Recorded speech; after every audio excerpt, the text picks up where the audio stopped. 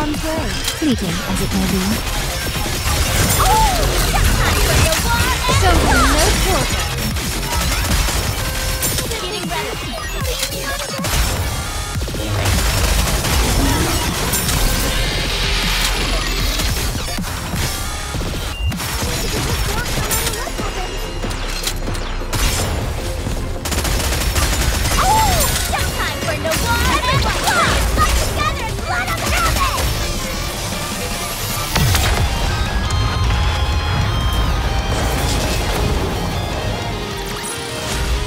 guess this makes me a good luck charm, doesn't it?